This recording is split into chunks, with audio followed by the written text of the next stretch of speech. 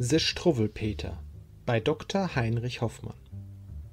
When the children have been good, that is, be it understood, good at meal times, good at play, good all night and good all day, they shall have the pretty things Merry Christmas always brings. Naughty romping girls and boys tear their clothes and make noise, spoil their pinafores and frocks, and deserve no Christmas box, such as these shall never look at this pretty picture book.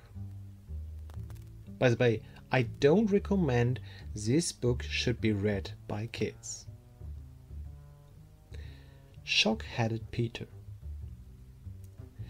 Just look at him there he stands with his nasty hair and hands. See, his nails are never cut, they are grimmed as black as sod. And the Sloven, I declare, never once has combed his hair. Anything to me is sweeter than to pee shook-headed Peter. Cruel Frederick here is cruel Frederick, see, a horrid wicked boy was he. He caught the flies, poor little things, and then tore off their tiny wings. He killed the birds and broke the chairs, and threw the kitten down the stairs. And oh, far worse than all beside, he whipped his Mary till she cried. The throw was full, and faithful Tray came out to drink on sultry day. He wagged his tail and wet his lip, When cruel Fred snatched up a whip, And whipped poor Tray till he was sore, And kicked and whipped him more and more. At this good Tray grew very red, And growled and bit him till he bled. Then you should only have been by To see how Fred did scream and cry. So Frederick had to go to bed, His leg was very sore and red. The doctor came and shook his head, And made a very great to do, And gave him nasty physic too. But good dog Tray is happy now, He has no time to say bow wow. He sits himself in Frederick's chair, And laughs to see the nice things there. The soup he swallows sup by sup, And eats the peas and puddings up. The dreadful story of Harriet and the matches. It almost makes me cry to tell What foolish Harriet befell. Mamma and nurse went out one day, And left her all alone at play. Now on the table close at hand A box of matches chanced to stand and kind mamma and nurse had told her that if she touched them they would scold her. But Harriet said, Oh, what a pity! For when they burn it is so pretty. They crackle so and spit and flame, Mamma too often does the same. The pussycats heard this, and they began to hiss, and stretched their claws, and raised their paws. Meow, they said, meow, meow, you'll burn to death if you do so. But Harriet would not take advice. She lit a match, it was so nice. It crackled so, it burned so clear, exactly like the pictures here. She jumped for joy and ran about, and was too pleased to put it out. The pussy cat saw this, and said, Oh, naughty, naughty miss, and stretched their claws and raised their paws. Tis very, very wrong, you know.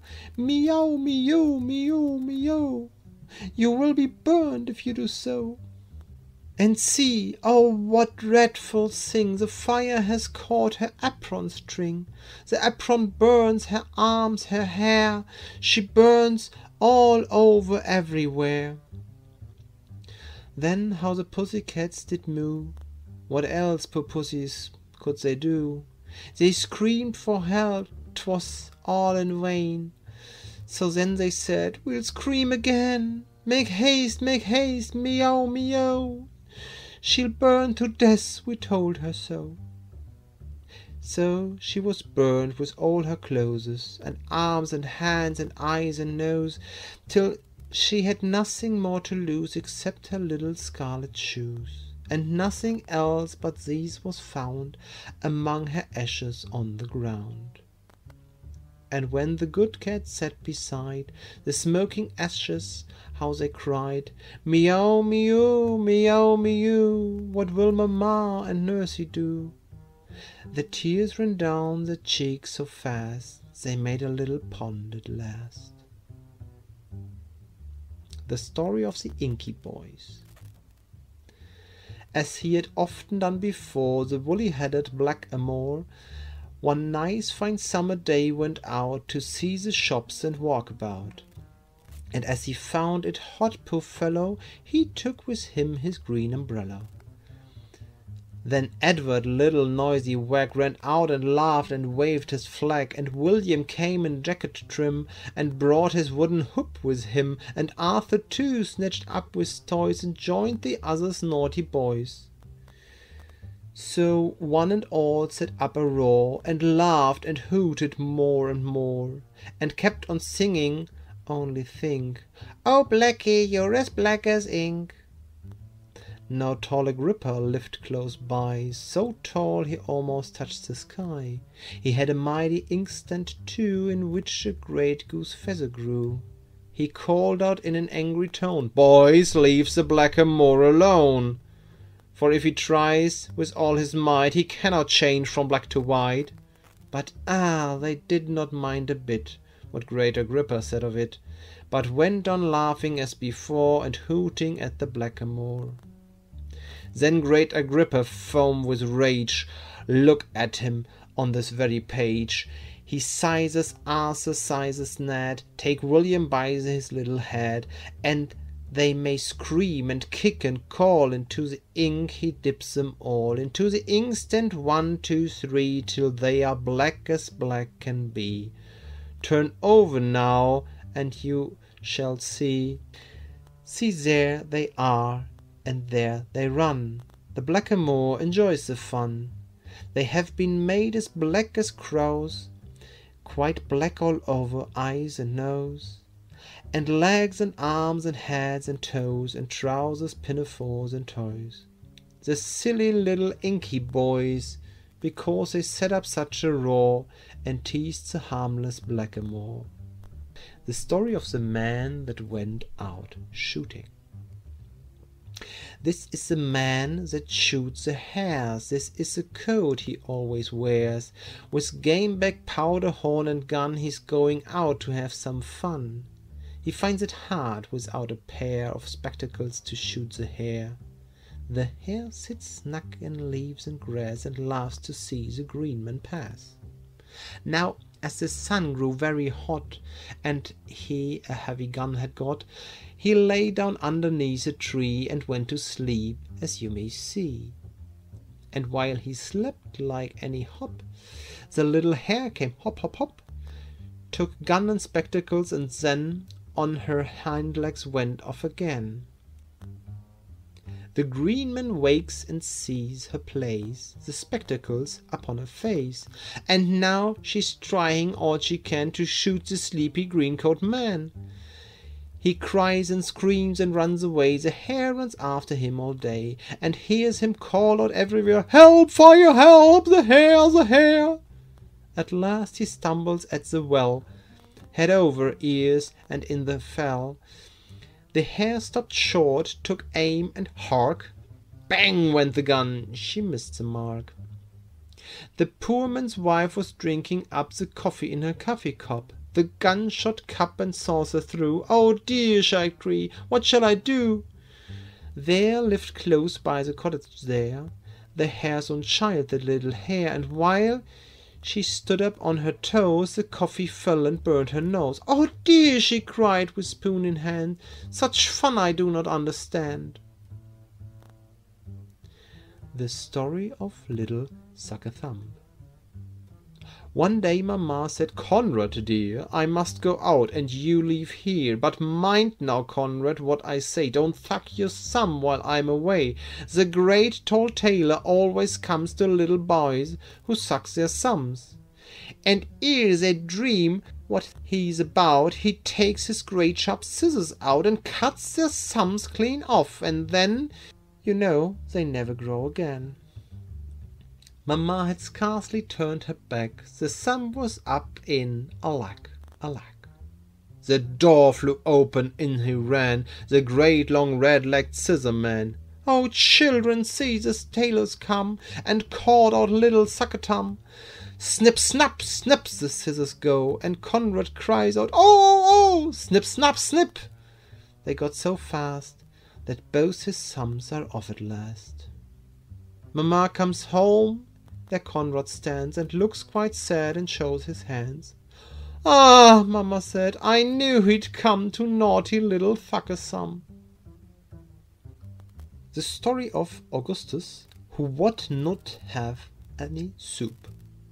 Augustus was a chubby lad, fat, ruddy cheeks Augustus had, and everybody saw with joy the plump and hearty, healthy boy. He ate and drank as he was told, but never let his soup get cold. But one day, one cold winter day, he screamed, Oh, take the soup away! Oh, take the nasty soup away! I won't have any soup today! Next day now, look, the pictures show How lank and lean Augustus grow. Yet though he feels so weak and ill, The naughty fellow cries out still, Not any soup for me, I say! Oh, take the nasty soup away! I won't have any soup today! The third day comes, oh what a sin To make himself so pale and thin! Yet when the soup is put on table, He screams as loud as he is able, Not any soup for me, I say! Oh, take the nasty soup away! I won't have any soup today! Look at him, now the fourth day's come, He scarcely weighs a sugar plum, He's like a little bit of thread, And on the fifth day he was dead. The Story of Fidgety Philip Let me see if Philip can Be a little gentleman, Let me see if he is able To sit still for once at table. Thus papa bade Phil behave, And mamma looked very grave. But Fidgety Phil, he won't sit still, He wriggles, he giggles, and then I declare Swings back and forward, and tilts up the chair just like any rocketing horse. Philip, I'm getting cross. See the naughty restless child, growing still more rude and wild, till his chair falls over quiet. Philip screams with all his might, catches at the cloth, but then that makes matters worse again. Down upon the ground they fall, glasses, plates, knives, forks, and all. How mamma did fret and frown when she saw them tumbling down, and papa made such a face. Phil is in sad disgrace. Where is Philip? Where is he? Fairly covered up, you see. Cloth and all are lying on him. He has pulled down all upon him. What a terrible to do! Dishes, glasses snapped in two. Here's a knife and there's a fork. Philip, this is a cruel walk. Table all so bare, and ah, poor papa and poor mamma look quite cross and wonder how they shall have their dinner now. The story of Johnny Head in Air. As he trudged along to school, it was always Johnny's rule to be looking at the sky and the clouds that floated by. But what just before him lay in his way, Johnny never thought about, so that every one cried out, Look at little Johnny! There little Johnny Head-in-Air. Running just in Johnny's way came a little dog one day. Johnny's eye was still astray, up on high in the sky, and he never heard them cry, Johnny, mind the dog is nigh! Bum dump! Down they fell with just a thump, dog and Johnny in a lump. Once, with head as high as ever, Johnny walked beside the river. Johnny watched the swallow trying, which was cleverest at flying. Oh, what fun! Johnny watched the bright round sun going in and coming out. This was all he thought about. So he strode on only think to the river's very brink, where the bank was high and steep, and the water very deep, and the fishes in a row stared at him coming so. One step more, oh sad to tell, headlong in poor Johnny fell, and the fishes in dismay wagged their tails and swam away. There lay Johnny on his face, with his nice red writing case, but as they were passing by, two strong men had heard him cry, and with sticks these two strong men hooked poor Johnny out again. Oh, you should have seen him shiver when they pulled him from the river. He was in a sorry plight, dripping wet in such a fry.